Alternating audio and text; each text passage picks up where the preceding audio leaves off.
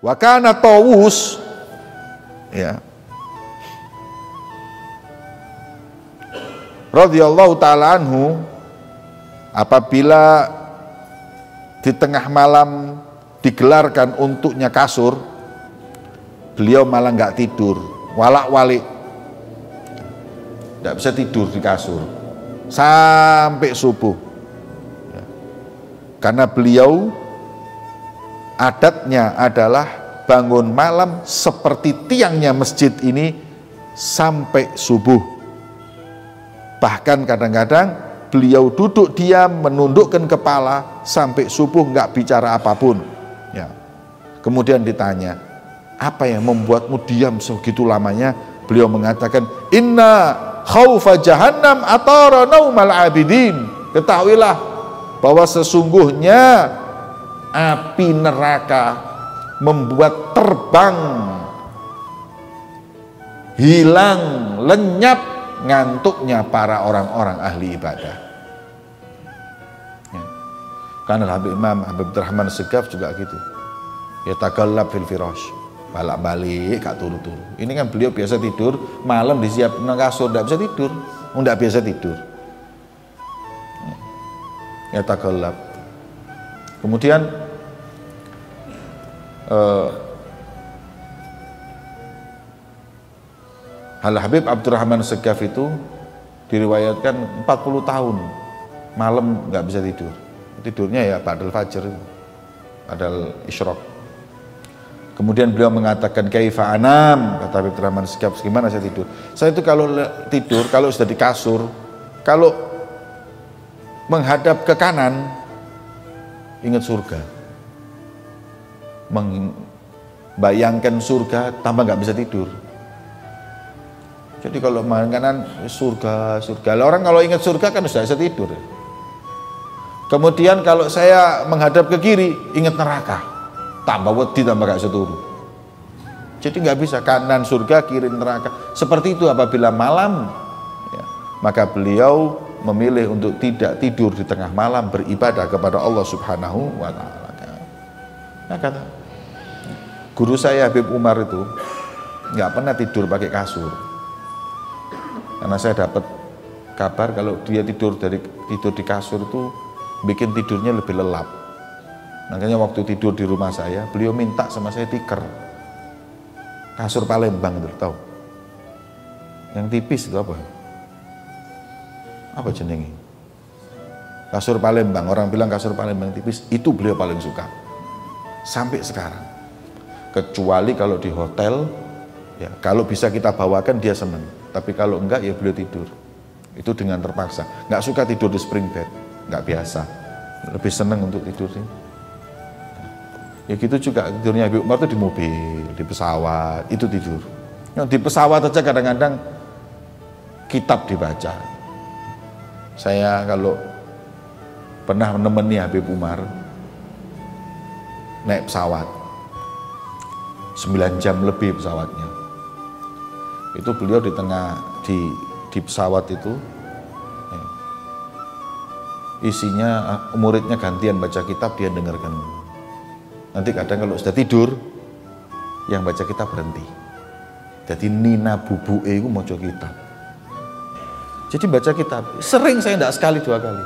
Sering tidur gitu. Saya pernah waktu itu perjalanan lama dari Yordan kemudian ke Indonesia perjalanan itu malam. Beliau duduk, semua duduk, zikir, wirid. Setelah itu semuanya tidur. Ditutup semua, pesawat ditutup semua, selimut. Ya. Subuh-subuh ada orang azan di dalam pesawat. Allahu Akbar, Allahu Akbar saya ngelilir ya iki pesawat apa masjid apa aku turun langgar ini eh, saya dek ngelilir oh, kemudian sadar saya lihat Habib Umar lagi adzan di pesawat adzan hadirin ngadek adzan Padahal di situ ada bule, ada bus gak ngurus wis. Ya. Kemudian beliau wudhu sholat. Habis sholat, wirid, habis isyrok tidur lagi. Memang waktunya itu makmur, tidak kosong dari hal yang nggak manfaat, ibadah toh. Pernah naik pesawat pribadi, tanya, ini perjalanan berapa satu jam setengah? Duduk sama anaknya, semaan Quran, podo apal Quran nih sebabnya. Lah yang saya heran, yang punya pesawat itu gak tahu dijak ngomong belas umur. Gak terus ngomong, "Beb, sehat alhamdulillah." Ngene ngene wis mari tek ngomong mbek anake, "Ayo." Mandek satu mukrok berhenti, anaknya yang teruskan. Beliau dengarkan kalau salah dibenerin. Padha gak nggawa Qur'ane kabeh iki, apalan kabeh. Delok ngono subhanallah. Jadi ku waktunya itu makmur hadirin untuk kayak ngono. Nek sak jam setengah aku aku mbek kon ngerasani wong enak. Lah gak kerasa moro-moro nyampe. Wis gitu itu waktunya. Nanti kalau sudah kadang-kadang itu pernah naik kereta api sama saya.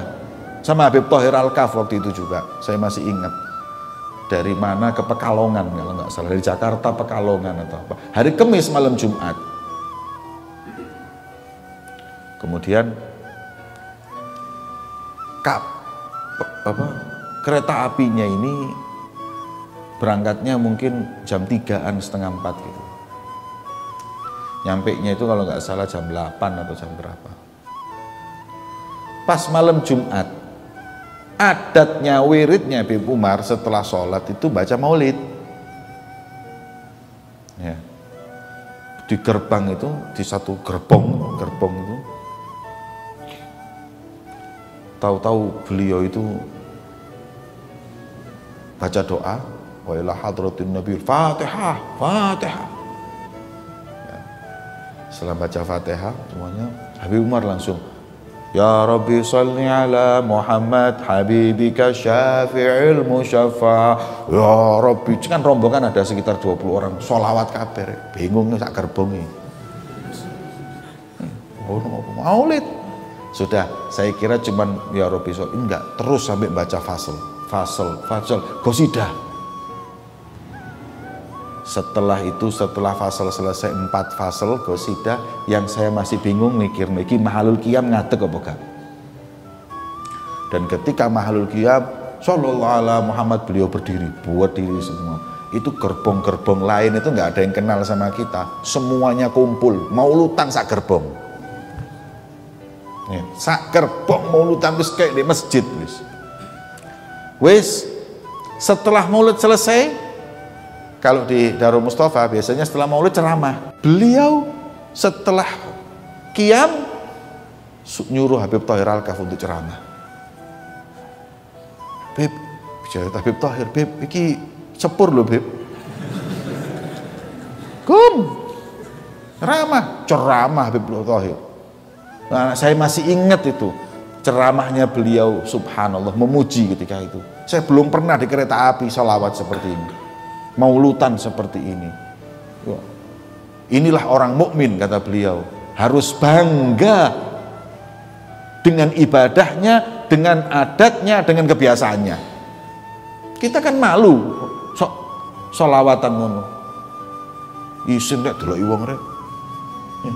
Dia nggak malu, dia bangga. Ini ceramahnya Habib Tohir ketika itu seperti itu. Terus yang lain suruh ceramah gantian. Setelah itu terus baca doa. Haimar nggak ceramah, baca doa, selesai. Hadirin, ini, ini apa namanya eh, adatnya para salaf kita dahulu, bagaimana mereka dulu qiyamul lail.